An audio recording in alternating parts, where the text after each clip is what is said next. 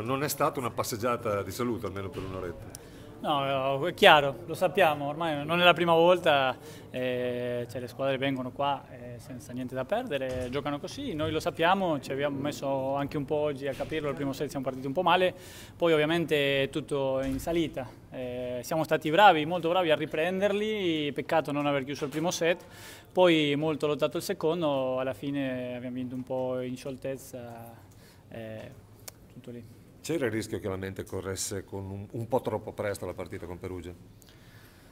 No, no.